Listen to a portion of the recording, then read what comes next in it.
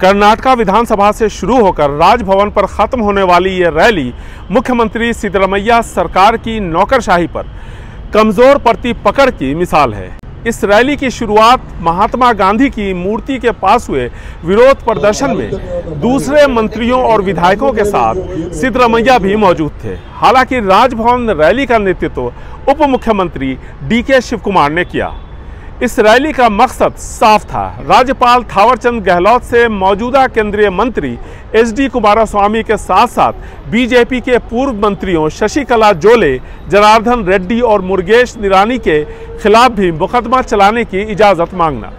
कांग्रेस का आरोप है कि मुख्यमंत्री सिद्धरमैया के खिलाफ प्राइवेट कंप्लेन के आधार पर मूडा के कथित घोटाले में मुकदमा चलाने की इजाज़त राज्यपाल ने दे दी।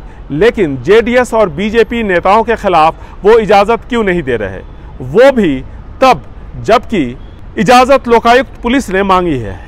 जब डीके शिव कुमार और दूसरे मंत्रियों ने ये सवाल राज्यपाल थावरचंद गहलोत से पूछा कि उन्होंने दोहरी नीति क्यों अपनाई तो राज्यपाल का जवाब सुनकर श्री डीके शिव कुमार और दूसरे सभी मंत्री भौचक्के रह गए।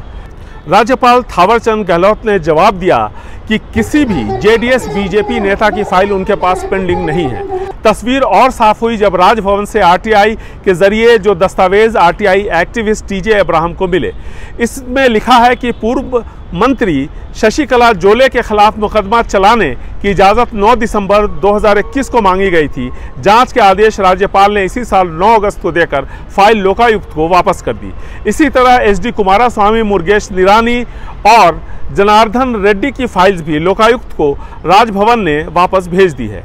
और जानकारी देने की मांग के साथ यानी राजभवन में बीजेपी जेडीएस के किसी भी नेता की फाइल पेंडिंग नहीं है लोकायुक्त राज्य के मुख्य सचिव के अधीन काम करते हैं और मुख्य सचिव मुख्यमंत्री को रिपोर्ट करते हैं ऐसे में साफ है कि कहीं सुनी बातों को आधार बनाकर राजभवन चलो यात्रा निकाली गई और ऐसे में सिद्धरमैया सरकार की किड़किड़ी स्वाभाविक है ಈಗ ನಮಗೂ ಅದೊಂದು ದೊಡ್ಡ ಯಕ್ಷ ಪ್ರಶ್ನೆ ಇದೆ ನಾನು ಅದನ್ನು ನಾಳೆ ಎಲ್ಲ ಮಾತಾಡ್ತೀನಿ ತಿಳ್ಕೊಳ್ತೀನಿ ನಾವು ಕೊಟ್ಟಿದ್ದೀವಿ ನಮ್ಮ ಹತ್ರ ಬಂದಿರೋ ಮಾಹಿತಿ ನಿಮ್ಮಂಥ ಕಚೇರಿಗಳಲ್ಲಿ ನಿಮ್ಮಂಥ ಸ್ನೇಹಿತರು ಕೊಟ್ಟಂಥ ಮಾಹಿತಿ ಮೇರೆಗೆ ನಾವು ಅದನ್ನು ಪ್ರಸ್ತಾವನೆ ಮಾಡಿದ್ದೇವೆ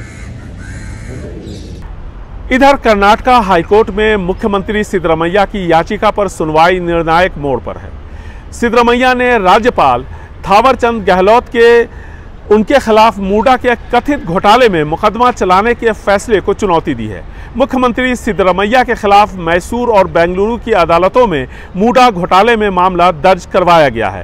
राज्यपाल के मुकदमा चलाने के आदेश के बाद सिद्धरमैया के खिलाफ अदालती कार्रवाई पर कर्नाटका हाईकोर्ट ने अगले आदेश तक रोक लगा दी है। बेंगलुरु से कैमरामैन कुमार के साथ निहाल खुदवई, एनडीटीवी इंडिया।